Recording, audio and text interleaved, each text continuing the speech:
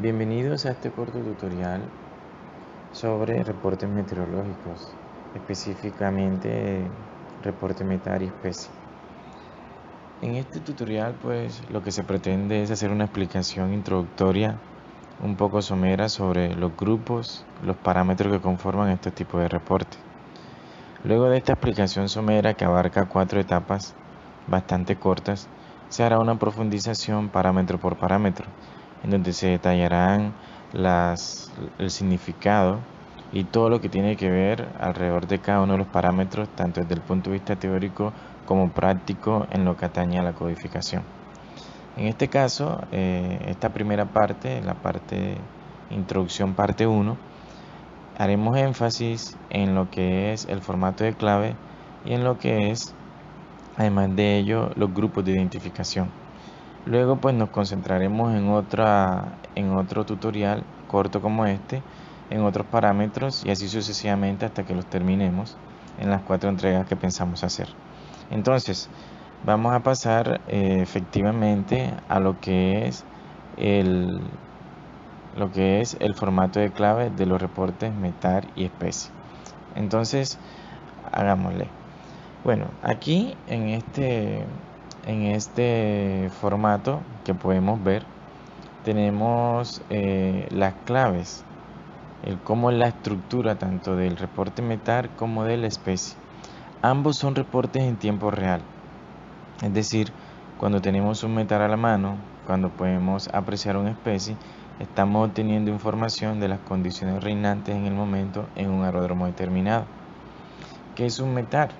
Un METAR es un reporte meteorológico aeronáutico de rutina, es decir, es rutinario porque se difunde a intervalos de tiempo ya preestablecidos, ya sea una hora o media hora para algunos países.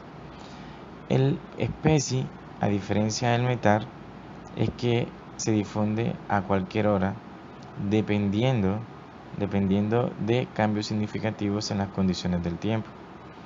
Un especie también es un reporte meteorológico aeronáutico, pero en este caso especial más no rutinario. No rutinario porque se difunde a cualquier hora dependiendo de las condiciones que haya en el momento. Lo importante es saber que los dos son reportes en tiempo real.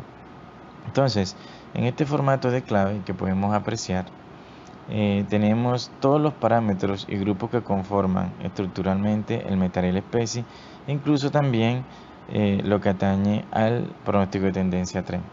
Entonces, aquí iremos detallando.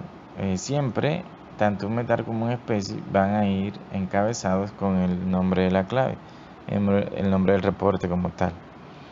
Eh, seguidamente, podemos encontrar lo que son los grupos de identificación. Dependiendo cuál sea la, la circunstancia, podemos encontrar diferentes encabezados del metal como de la especie. Estos que acabo de resaltar son los grupos de identificación. De identificación porque me dicen de dónde proviene el mensaje y la vigencia del mensaje. Luego tengo acá lo que es eh, la dirección y velocidad del viento. Bueno, hasta acá, perdón. Todo esto abarca la dirección y velocidad del viento. Acá tenemos la visibilidad, la visibilidad horizontal. Luego tenemos el alcance visual en pista Luego, lo que son los fenómenos de tiempo presente. La nubosidad está aquí en lo, que estoy colocando en el recuadro. La temperatura del aire seco y la temperatura del punto de rocío. El ajuste altimétrico, QNH en este caso. Y acá tenemos, estos grupos conforman lo que se llama información suplementaria del metal o de la especie.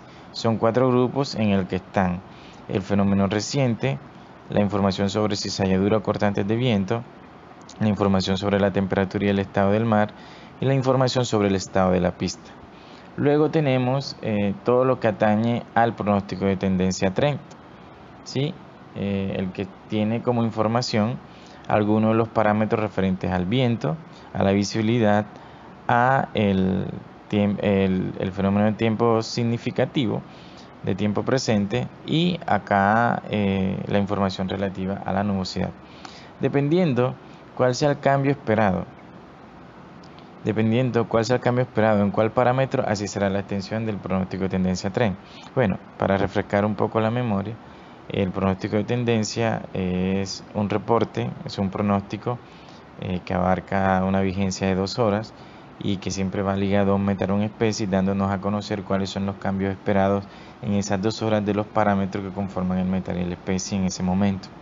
Puede que hayan cambios en todos los parámetros señalados ahora, o puede que solamente sean uno, dos, eh, o en ninguno y ya eh, dependiendo cuál sea la circunstancia se dará a conocer cuáles son los códigos apropiados.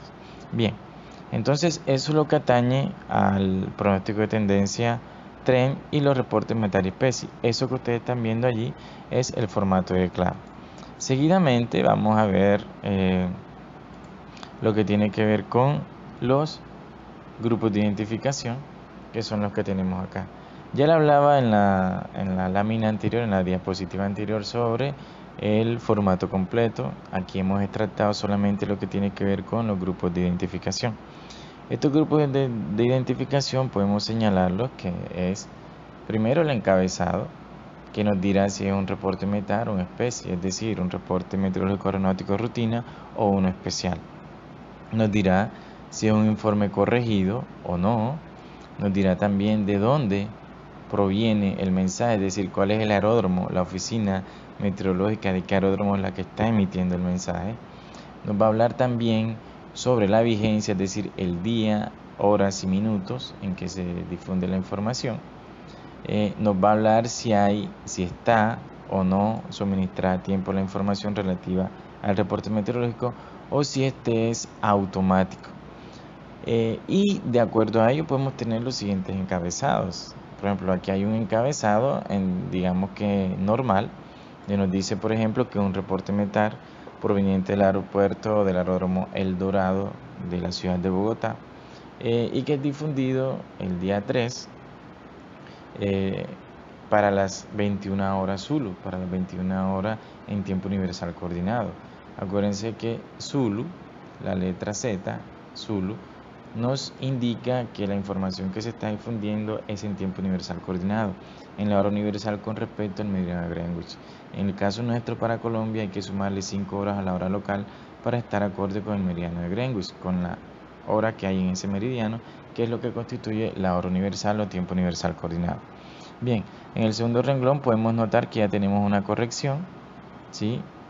una corrección del metal y que nos dice que la hora de esa corrección fue a las 21.04 del día 3, tal como se ve acá. Luego tenemos un posible encabezado en donde nos dice que la información no ha sido suministrada o no está disponible, es decir, un reporte metal del aeropuerto El Dorado de Bogotá generado el día 3 a las 21 horas Zulu o con vigencia para el día 3 a las 21 horas Zulu y que eh, presenta que no, como circunstancia, que no se ha suministrado la información. Luego tenemos una variante en donde nos dice que ese reporte que se está reportando, eh, el METAR del aeropuerto El Dorado Bogotá del día 3 a las 21 horas Zulu es de carácter automático.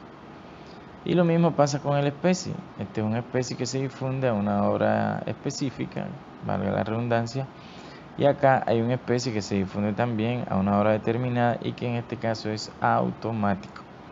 Entonces, aquí hemos hablado tanto del grupo, del formato de clave, como los grupos de identificación. Ya en el siguiente tutorial estaremos conversando sobre lo que tiene que ver con el viento, la visibilidad y el alcance visual en pista. Entonces, eh, muchas gracias. Espero que haya sido de provecho y nos vemos en una nueva ocasión. Hasta la vista.